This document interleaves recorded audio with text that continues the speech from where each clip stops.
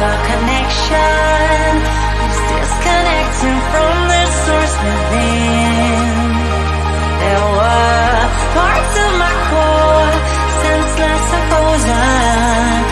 Wisdom hidden, locked up in my soul.